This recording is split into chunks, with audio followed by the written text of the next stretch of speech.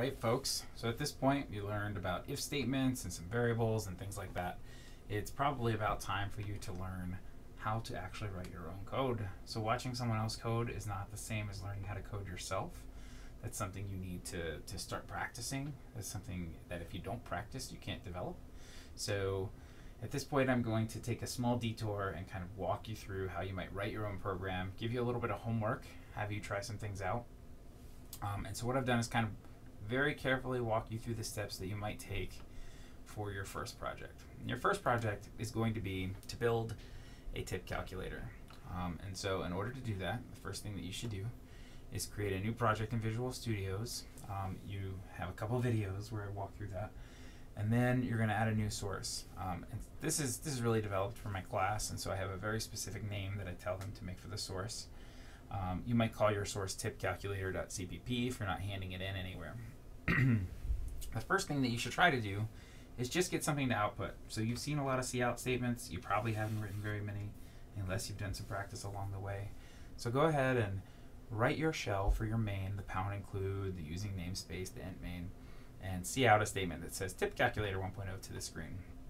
Compile it, run it, make sure it shows up, make sure it shows up in the console. Um, you should run and check very, very often. And so the first step in that is just get anything to output to the screen. These next couple of steps are, are broken down to test that you understand how making variables and using variable work before you dump into user assignment and, and user input and things like that. And so what I have them do, or what I'm going to have you do, is create a variable called check amount and give it an initial value of 65. For this homework, you can use any types you want, um, although I kind of assumed the user only knew int. But if you use doubles or something like that, you can. Um, but it's okay if you use integers. Then, whoops, sorry. Then I have them create a variable called tip amount and set that equal to 20% of the check amount. Oh, look, there's a little typo in here. Um, once you have the tip amount, you can print that to the user. So at this point, you've written four lines of code. You should, sorry, you should um, check those four lines of code, make sure that it compiles, make sure it runs, and see what your output looks like. Next, you're going to create a variable called total paid, which is the sum of the two other variables, and print that out to the user. Now you should run and check your program. At this point, your program should have three outputs, the tip calculator, the tip amount, and the total paid.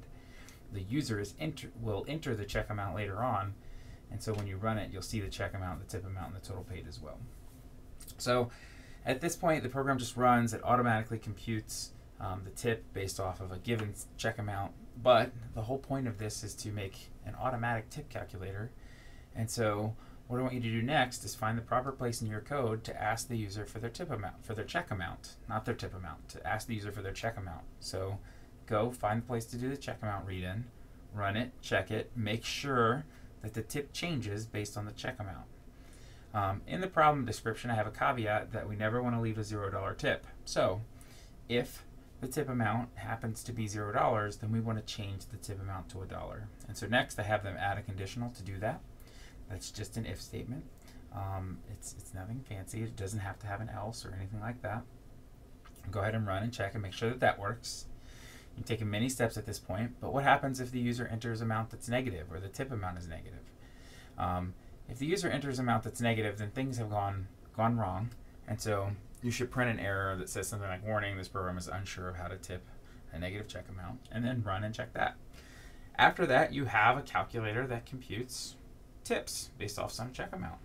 It's not too bad. Um, there's some other rules and descriptions for, for the folks in my class at the bottom there, um, but, but that's all you have to do.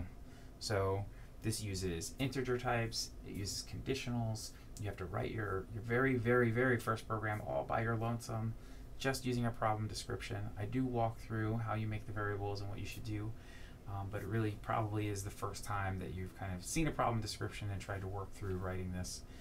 Um, programming and learning to program is about failing.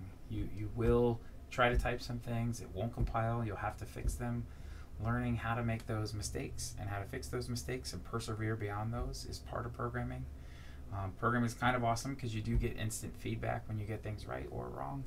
Um, so go out there, try some programs. This is an interesting one. Hopefully, uh, you, you use it the next time you go to a restaurant or something like that. Um, and until next time, bye.